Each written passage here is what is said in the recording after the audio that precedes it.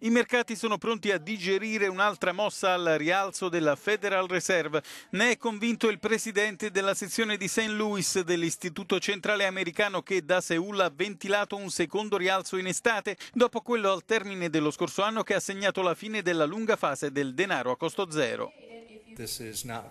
Non c'è da sorprendersi, dato l'avvio che abbiamo dato a dicembre, la politica del Comitato, che è quella di normalizzare i tassi lentamente e gradualmente nel tempo.